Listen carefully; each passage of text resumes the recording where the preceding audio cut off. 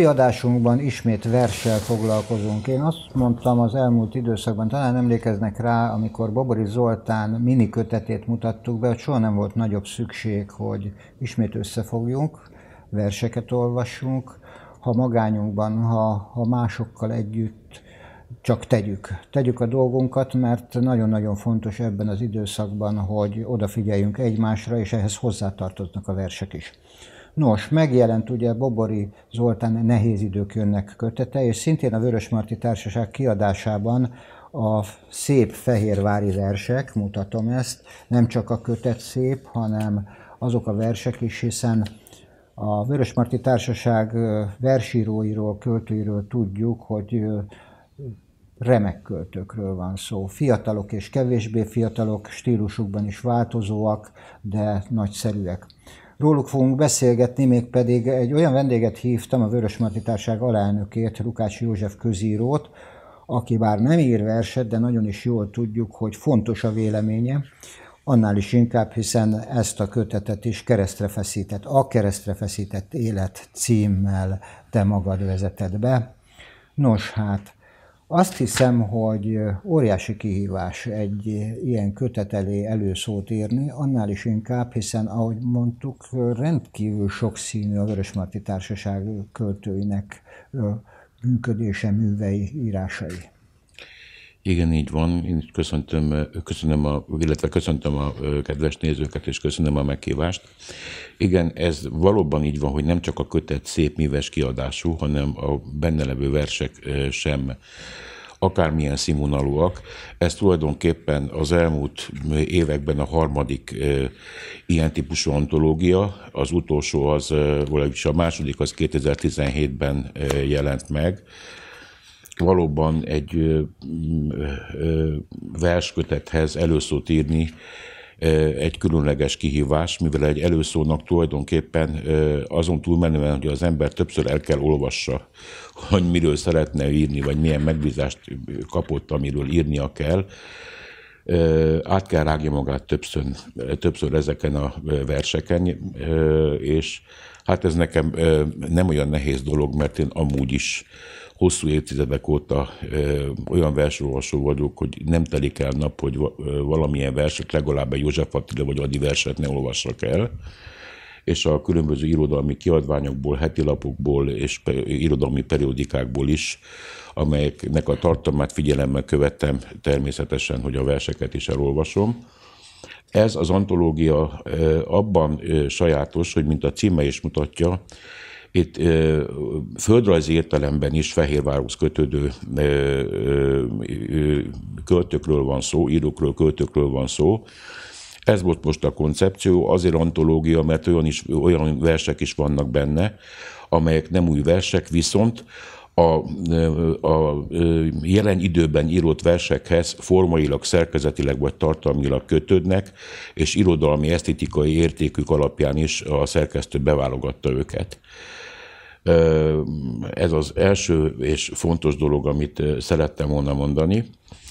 A másik, hogy ugye ilyenkor felvetődik a kérdés egy válogatás, egy verses antológia esetében is, hogy vajon a, ezeknek a verseknek hányféle változata, hányféle formája volt, hogyan születtek meg, és ez fontos a mai világunkban, mikor hát azért nem esztetikai, esztetikai értelemben nem az első, nem a magasabb kategóriában sorolandó verseket olvashatunk itt-ott, amelyek itt-ott megjelennek. És az is feltevődik az a kérdés is, hogy mi az az úgynevezett kor, korszerű, kortás költészet, kortás vers, milyen isművekkel rendelkezik, és hogyan keletkezik. Ugye régen volt már, mikor még a hangsúlyos az időmértékes verseket, a drámai költeményeket, elégiákat tanultuk iskolában és főiskolákon, egyetemen is. Ma egy kicsit megváltozott a világ, annál is inkább, mert, mert a hagyományos, hangsúlyos időmértékes verseléseket illetően a múlt század elején már egy új társadalomnak az összefüggéseit taglaló művészeti irányzat jelent meg az avargan, vagy bizonyos nevterületeken modernizmusnak nevezték, amelyek egy új társadalom szerkezetet, új gazdasági felépítményt nek az elemei, de elsősorban a kulturális összefüggéseket és a művészeteknek a, a, a, az új szerepét is elemezte és az avantgard vagy a modernizmus legpregnánsabban az irodalomban, az irodalomon belül a versekben jelent meg, és a különböző képzőművészeti ágazatokban, főleg a festészetben, és mint tudjuk, a magyar irodalomban irodalmi és művészeti értelemben is a, a Zamangard kezetei Kassák Lajos nevéhez fűzhetjük, vagy köthetjük aki úgy Magyarországon, mint Bécsbe az avantgard irányzatokat, taglaló lapokat adott ki és szerkesztett, avantgard verseket is írt, és avantgard festményeket is készített, egy sokoldalú ember volt, ma már Budapesten van Kassák Múzeum, amelynek a, éppen a hónapban történt meg a, a, az igazgatóváltása. Tehát ilyen értelemben már a, 19, már a 19. század végétől a 20. század elejétől már tulajdonképpen tartalmi és stilisztikai, esztetikai vonatkozásban úgymond új verseket olvashatunk. Itt már a nyugatnak az első nemzedékében Odi Kosztolányi, ugye Babics Krudi, Juhász Gyula, és ide tartozik tulajdonképpen Tom Palászló is az újabb kutatások után, aki egy székelyföldi költő volt és nem olyan régen Cseke Péternek megjelent egy tanulmánykötete, aki a legutóbbi évek kutatásai alapján az előbb elhangzott, hogy is mondjam, verdiktumot vagy kijelentést ezt bőségesen alátámasztja. És, és Külön, a, ezen belül pedig már nagyon korán a nyugat első nemzedékénél megjelennek az avantgardhoz tartozó olyan irányzatok is, mint ami a naturalizmus, a szimbolizmus, és mondjuk Gati esetében a szimbolizmussal együtt ugye a dekadencia is. Aztán a, a később a ezek, ennek az irányzatnak a tovább élése, és megjelenik majd a későbbi koroknak a, költé, a költőin és ezek követőinél a, a modernitásnak a költészetében, és akkor nagyon hamar ugye elérkezünk a 70-es, 80-as évekig, mikor az irodalomtudomány területén megjelenik a posztmodern kifejezés, és a posztmodern, ami elsősorban a művészeti, hogy is mondjam, alkotásokra vonatkozik. Természetesen a költészet, az irodalom ezen belül a költészet területén is megjelenik. A posztmodern verseknek tulajdonképpen, ha szűken irodalmi történeti szempontból elemezzük, akkor van egy korai posztmodern, ami a, tulajdonképpen az avantgardhoz, a modernitáshoz kötődik. Van egy referenciális posztmodern költészet, amely, mint a neve is mutatja, még egy meghatározott társadalmi és kulturális céllal tükrözteti azokat az eseményeket, amelyek taglal, de már nyelvileg egy új formát jelent, és tartalmi vonatkozásban ugye a történések és a célok és a feltett kérdések elé kerül a szerző, er, fontos szerepet kap a kommunikáció és a nyelv. Ez a posztmodern költészeti irányzat pedig kérdéseket tesz fel, de még nem válaszol. És van egy harmadik, a legutolsó évtizedeknek vagy éveknek a, a, a költészeti terméke az úgynevezett antropológiai posztmodern, amely már, már nagyon komoly szerkezeti változásokat és tartalmi változásokat is jelent, ahol már nincs semmilyen féle külön célral meghatározott tükröztetés, hanem különböző fajta jelenségeket, történéseket, kérdéseket vet fel, és a nyelvi újdonság pedig a nyelv rétegezettsége, a kommunikáció megváltozása, a szóképek, a depolitizálás, és olykor-olykor még a tudatosan rontott nyelv is. és megjelennek a korunk legújabb társadalmi irányzatainak a kérdései is, mint amilyen a másság, a politikai korrektség, a hatalom ellenesség és a különböző identitásoknak a taglalása. Hogyha egy ilyen rövid összefoglaló után ezeket a verseket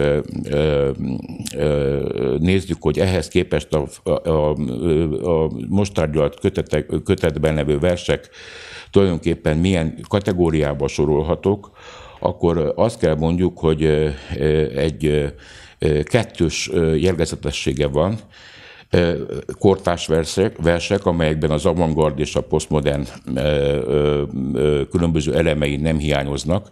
Ezt csak azért mondom, mert a, épp a tegnapi nap egy mives jellemzés recenzió jelent meg a kötetről, amelyben egy kicsit félreérthető ez a dolog, mint hogyha a fehérváriak valamilyen fajta, valamilyen szempontból másfajta verseket írnak, írnának, mint ami a, a kortás és modern, posztmodern versek kategóriájába tartoznának. Nincs erről szó, csak van egy kettős jellegzetesség, a, a hagyomány korszerű megjelenítése, és ugyanakkor a posztmodern elemeinek a felvonultatása is olyan formában, hogy hogy ezek a versek kortárs és a hagyományt meg, megőrző, de korszerűen újrafogalmazó versek Igen. azok, amelyek ebben a kötetben vannak. Igen, Tehát ez nagyon fontos, fontos, hogy, hogy nehogy egy félreértés legyen, és valószínűleg, hogy bár vannak nem fehérvári nagyon jó költőink, és művészeink, akik a Vörösmarty Társasághoz kötődnek,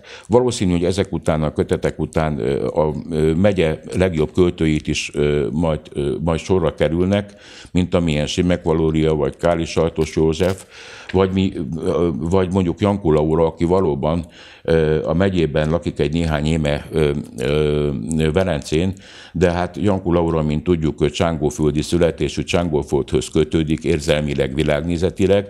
Hosszú éveket ért Csíkszeredában és Budapesten, és csak néhány éve lakik Fehérváron, úgyhogy ő még csak a megyéhez és a Fehérvárhoz való kötődése, az még csak most alakulgat ki benne, de egy rendkívüli tehetségről van, van szó, az bizonyos. Igen, ha már itt tartunk, akkor ugye ha egy, az istenkeresés írott te és foház gyönyörű metaforikus tájképek, szülők és gyerekek cselekedeteinek felidézése, szerelem és csalódás, valóság és képzet, elmúlás és félelem, vagyis a keresztre feszített élet. Ennek tükrében most hallgassunk meg egy Bartak Klára verset. Én azt gondolom, hogy Bartak Klára azok közé tartozik, amikor azt mondjuk, hogy a keresztet, keresztre feszített élet hű tolmácsolója. Örömmel. Bartal Klára, Jézus. Szomjú hozom, sóhajtott halkan és az ecetbe mártott spondja, melyet cserepes szájához nyomtak, testi kínjait eloltotta. Egy rángás volt még, az utolsó, és lelke már szabadon szárnyalt. Volt, aki robajt, égzengést hallott, kiáltást, sírást, elhaló jajt. Sokan siratták bánatukban hitüket talán elvesztették.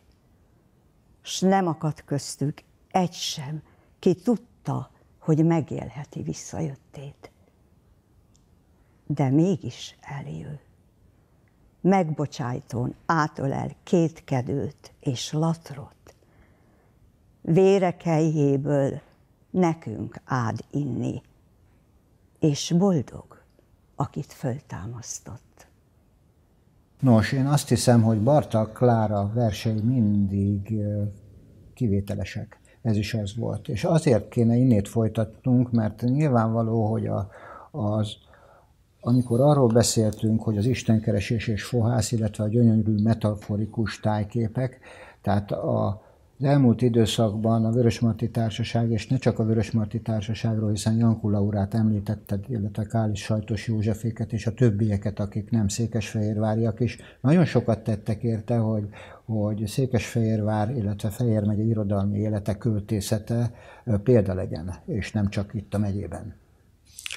Igen, ez még azt is hozzátehetnénk, hogy ugye a Vörösmarty Társasághoz olyan emberek is kötődnek, akkor nem, hogy a, a, a, nem a Fehérváron és Fehér megyében, hanem Budapesten vagy az ország még keleti részében élnek, hogyha csak Radnai István költött említem, aki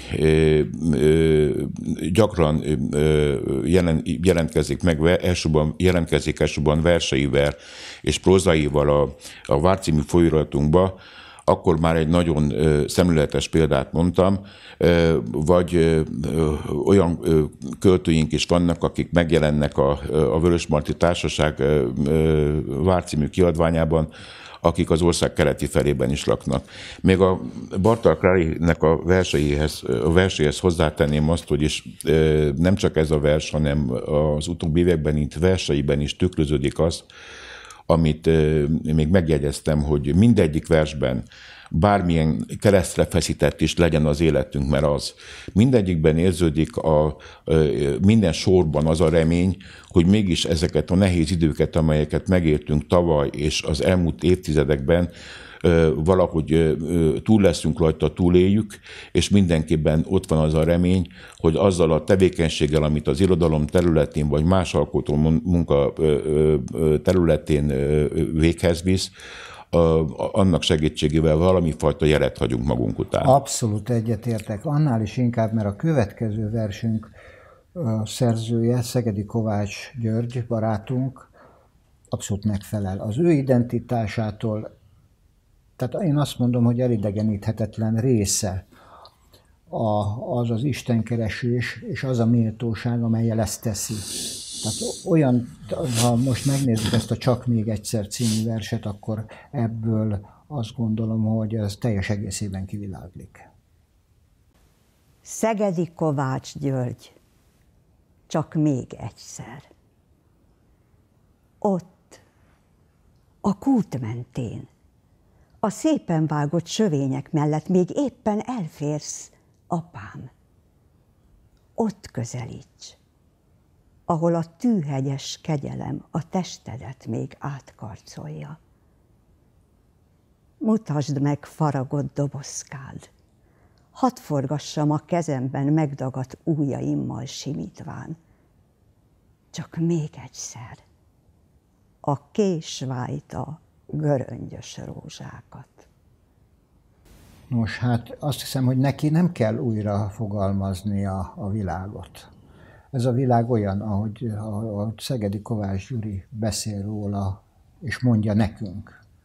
Nem a lelkünkre köti, egyszerűen taglalja, pontosan, értelmesen, tisztán, emberi módon. Így van, azért csodálatos az a költészete, és egyik kötetéhez Román Károly tanár úr írt egy nagyon-nagyon szép ajánlót, mert ő egy, a szó nemes értelmében egy olyan vallásos ember, akinek nem csak hite van, hanem a tíz parancsolat és a bibliai tanítások szerint is él, olyan az életmódja is. És ebb, mindig ebben a dimenzióban mozog valamilyen szinten, és mindig bárhonnan indul el, mindig valahogy a hithez, vagy valamelyik bibliai tanításhoz jut. Megjelent annak idején egy kiváló kötete a Vörös Marti Társaságnak amelyben rendhagyó módon versek, illetve verselemzések vannak. Abban is egy ilyen verse van Szegedi Kovács Györgynek, amit egyébként Ferenci Noémi az ismert irodalommal és magyar tanár egy kiváló műveltségű és kiváló bibliai műveltséggel rendelkező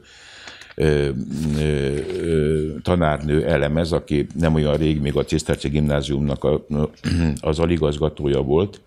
Ez a vers egy kicsit rokonítható Szegedi Kovács Györgynek ez a vers a Zsidának a, az utcaseprő alakját taglaló verséhez, és tulajdonképpen arról szól, hogy a költő találkozik Jézussal, aki mm, rossz állapotban, szakadt ruhában, kvázi egy nincstelen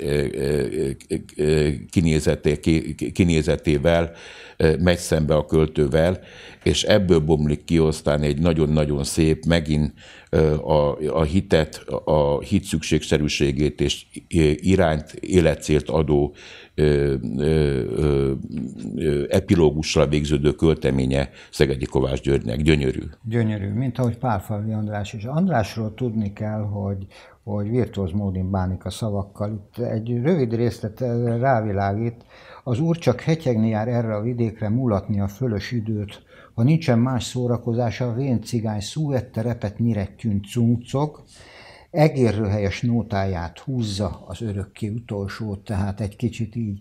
De én mégsem ezt a verset hoztam ide nekünk, hanem egy csodát, a mamát. Nézzük meg egy. Pálfalvi András, mama. Olyan jó, hogy végre visszajöttél, mama. Annyi minden történt azóta velem, hogy elmentél. Azt hittem örökre. Most újra itt vagy. Mosolygó arccal, örömmel, kedvesen nézel rám, és szólítasz a hosszú út után. Hallottam, írtál rólam verseket. Elmondod most, ugye? Csak nekem. Talán az egyiket. Elmondom. De előbb a többit pótoljuk. Az oly sok elmaradt ölelést, a torkunkon akadt becéző szavakat. És előbb te mondd el, hol és merre jártál? Hol lettél ilyen szép és újra fiatal? Látod, én már lassabban megyek. Fáj bennem és rajtam annyi minden. Ráncos szememben sok a fájdalom. De én vagyok az most is, fáradtan, öregen, a te kicsi, esendő, szerető fiad. Olyan jó, hogy végre visszajöttél, mama, és beszéltél hozzám annyi év után, még akkor is, ha ez csupán álmomban történt meg velem. Egy éper álom csendes hajnalán. Nos, hát igen, olyan jó, hogy végre visszajöttél, mama. Ezzel kezdődik, és én ezzel is fejezem be, mert hogy én azt gondolom, hogy az András 70-en felül, tényleg nem is beszéltünk majd arról, hogy Bobori Zoli, Pálfalvi András és Balati erre is nem régiben. A Parázs a Zavarón cíművel kötettük, ami 70 éves, 70 éves születésnapokra jelent meg. Igen, és nagyon most, szép. hogy András visszatért, tehát ismételten ez csoda. Egyetértek. Jó, hogy van. Jó, hogy van, jó, hogy vannak. Egészséget és termékeny alkot éveket kívánunk nekik továbbra is. Mint ahogy az is nagyon jó, hogy van, hogy vannak hölgyek. Ugye beszéltünk itt már Jankula urájukról, Bartak Klárát megidéztük, és kell, hogy szó essék Pémaklári Éváról is, aki tanárként, pedagógusként, gondoskodó hölgyként és versíróként is bizonyított az elmúlt időszakban. Jó, hogy van nekünk, hiszen fontos, hogy a Vörösmarty Társaságban reggeltől estig, vagy reggeltől reggelig, ha úgy tetszik, gondoskodó tisztelettel és szeretettel teszi a dolgát. Most egy olyan versét fogjuk megnézni a Dunapartján címmel, ami ezt bizonyítja. P. Maklári Éva a Dunaparton. Nézem a Dunát, mint te nézted egykor a rakodópart alsó kövén ülve a nyugalom tere most ez a folyó, alig hullámzik. Apró fodrai tűzszoknya csipkék, s mint gyöngyszemek rakódik rá az emlékezet. A kihűlő csöndben fáradtan a múló időtől őrzi titkait. apró rándulások vallanak csak a beleoldódott gyászról, mit feketétől feketéig cipel, országokon át.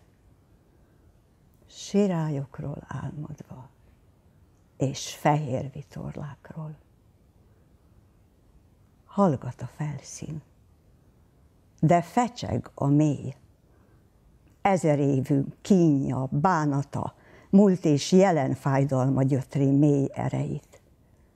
Az odahultak, az odalőttek csontújai belekapaszkodnak a bombatölcsérekbe. Maradni akarnak, birkózva iszappal, szennyel. Nem csábítja szétlőtt nyakcsigolyájukat a tenger. Itt hordta őket a föld, koptatta cipőjüket a parti sétány azon a hídon álltak, mely most föléjük hajolva fürkészi a hazai tájat. Ezt a tájat, ahová te egy megszerkesztett, szép, szilárd jövőt képzeltél komor vágyakozással. Közös dolgaink mély sötétjében most is harcsabajszú indulat tátog, hozza, viszi az ár. S a Duna sem érti, mikor jön végre kalózhajók helyett a béketerhét cipelő lassú uszály. No, hát kedves Éva, innét is gratulálunk, mosolyog a szemed. Igen. Igen, mi arra gondoltam, hogy egy különleges összetett tehetségről van szó, ugye egy nagyon tehetséges költőről, prózairól és festőművészről, és nekem különleges kapcsolatom van vele, mert lelki jó barátom volt az ő férje, akivel én rengeteget beszélgettem, ugye történelem tanár volt, közéletről, történelemről, és miután ő eltávolodott, eltávolodott közülünk, utána ismertem meg az Évát, és őnek, ő sokszor ír olyan nagyon míves verseket, valamilyen esemény után, lásd román tanárulnak a közülünk való eltávolodása okán, de valamilyen olyan jelenség után, amiből, ami elindít benne egy költői folyamatot, akár legyen ez egy képzőművészeti kiállítás, vagy egy Vörös Martin Mihálynak a születésnapja, a napokban ezelőtt vagy két-három héttel jelent meg a Vörös Martiról szóló verse, ami, ahol zárójelben oda volt írva, hogy az ő saját vörös marti képen nyilván, hogy mindig ha valaki személyről, jelenségről, természetről, történelemről, országról, szerelemről, halálról él, az mindig az ő saját véleménye nyilván, de azért ez egy olyan érdekes zárójel volt, és hát az is egy gyönyörű vers. Babicshoz írt verset, az is benne van az említett válogatásban, ahol versek és verselemzések szerepelnek. És hát a, a, a prózái megint nagyon érdekes, különleges történetek, Ugye nyilván, hogy az emlékekből, az életéből táplálkozik mindenki, mert szokták mondani, hogy mindenki bármit ír, mindig saját magát írja írók, költők és nem idegen tőle a nagyon finom humor és irónia ami mindig, hogy ilyen csúnya kifejezéssel élek, mindig megdobja megdob egy, egy rövid prózát, nagyon-nagyon szép. Mindenkinek ajánlom azt, hogy a, van nekünk novella és prózai antológiánk is, és abba, abban a, a, a a kötéltánc, hogy jól emlékszem a címe, ami egyébként pontosan Pálfalvi Andrásnak egyik novellája, Makár Évának a benne levő rövid prózáit el kell olvasni, és azok azt támasztják alá azokat az ismérveket, amit az előbb a prózáival kapcsolatosan említettem, de hát a versei és gyönyörűek mindig, mindig egy élmény. Mint ahogy Balajti Feri barátunk is mindig megújul. Én azt gondolom, hogy az a barátság, ami László Zsolthoz fűződik, az öreg, öreg, öreg, örök. Igen, ezt szerettem volna mondani. És annak is köszönhető, hogy őt is inspirálja és kihívásnak tekinti, hogy mindig új és, és egészen különleges hangvételű versekkel jelentkezett, jelentkezzen, és ilyen most ez, az újból dicsérete egyébként. Én azt hiszem, hogy érdemes ezt is meghallgatni. Balajti Ferenc az új bor dicséretére. Szép születésnapi boldog ajándék, lányok szemébe való csillagfény. Látod, a tettet követi új szándék, arcunkra csókol a csalfa remény. Incseleg, izgató bor íze szánkban, korsóból hörpint a szomjazó nap. Ott marad vártán a pince szobában bor, meg egy fekete lyukas kalap. Bor tüze eltet, a fájdalom tompul. Dalt dudorászna nyűt szőlőlevél. Hátba támadhat a sors keze orvul, borból a hit szól, igazság beszél. Én bírok a borral, a bor bír velem. Szentséges nedű, örök szerelem.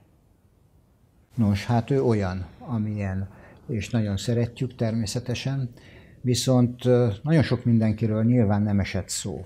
És nem is lehet, hiszen ahogy Szuromi Pál is írja, jó szívvel ajánljuk olvasásra ezt Igen, a Hanvasból filozófiájából vezeti le a, Igen. azt hívja segítségül, hogy a, a vers és a jó bor, az mind a kettőben van valami misztikum, így van. Viszont ennek tükrében azért essék szó arról is, hogy hol tart ma a versírás itt. És nem csak Székesfehérváron, hiszen azt látjuk, hogy a fiatalság egy bizonyos része már teljesen elengedte, ahogy tetszik a verseket, és a, a közmédiában is egyre ritkábban hallhatunk verses műsorokat, bár azért én azt gondolom, hogy, hogy érdemes felkarolni. Hát sajnos nem tudunk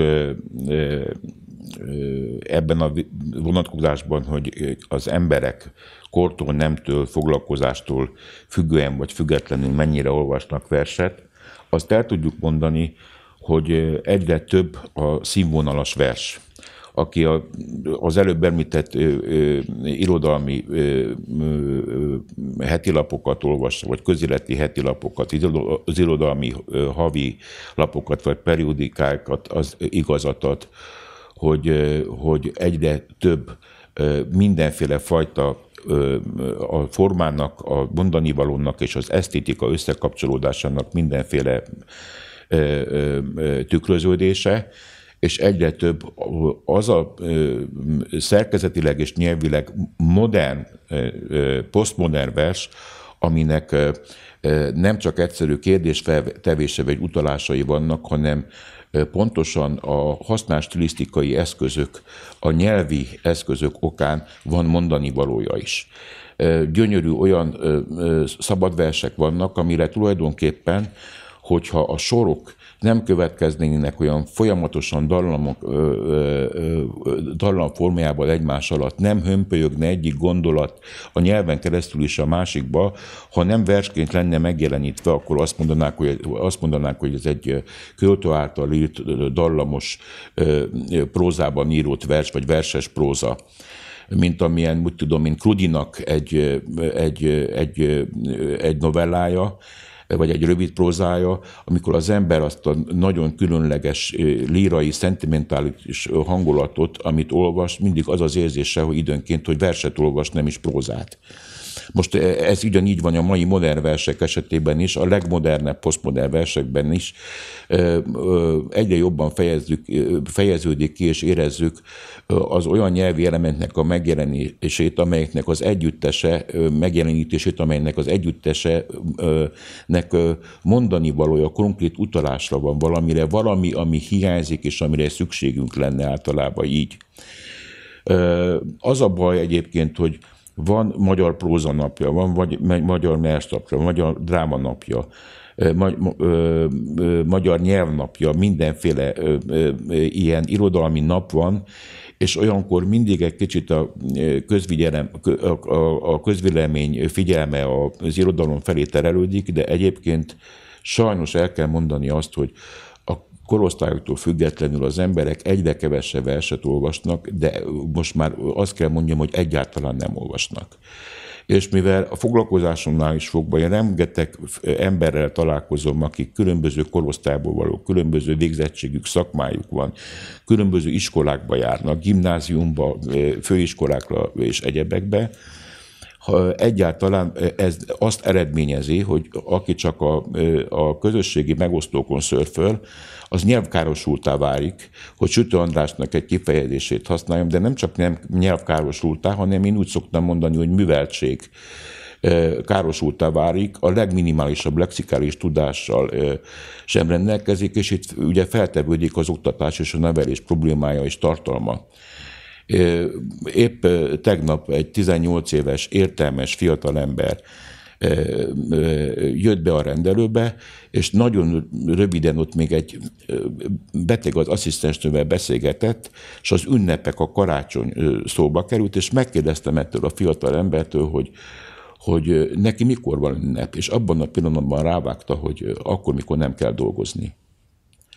Ez, ez eléggé megdöbbentő. Hát a versekkel is valahol a fiatalok így vannak, és e, tulajdonképpen a, a beszédnek a percepciója, a legegyszerűbb tőmondatoknak, egy, egy kikérdezésnél, egy, egy valamilyen apró jelenség tükröztetésénél már egyszerűen nem értik, hogy mit mondanak, nekik mit hallanak, mert nem azon a, ezen a digitális bükfanyelven mondja az ember. Igen, és azt gondolom, hogy pontosan azért fontos, hogy foglalkozzunk ezzel az antológiával is, hogy egy kicsit térjünk már vissza és fontos, hogy legyenek versünnepek, hogy minden pillanat ünnep legyen, amikor vers, de ez legyen része a köznapoknak is. Nagyon egyetértek. Tehát az az antológia, ugye te így fogalmazod meg, hogy a Vörösmarty Társaság a Fehérvári Szépversek című antológiájában másmilyen verseket ajánl az olvasók számára, olyat, amiről beszéltünk. Igen. Olyanokat, amelyek szerkezetükben és formájukban, szavaik és soraik rímszerű megfeleltetésében és együtthangzásában, valamint üzenetük átélhetőségében, egyediségében egyszerre kortárs és a hagyományokat korszerűen újrafogalmazó és megőrző irodalmi alkotások. Igen, ezt bontottam, ezt a bekezdést bontottam fel én is. rendben van, én azt gondolom. Köszönöm. És annál is inkább, mert hogy nekem meggyőződésem, hogy a Vörösmarty Társaság jó úton jár ebben. Mindent megteszünk azért, hogy így legyen, és hogy mindenki így érezze. És minél több embert vonjunk be az irodalom iránti érdeklődésbe, és a műves színvonalas műveltség megszerzésében. Köszönöm szépen. Én is köszönöm a meghívást. Kedves nézőink, Önöknek is köszönöm megtisztelő figyelmüket, és mi mást mondhatnék, mire kérhetném Önöket, olvassanak verset.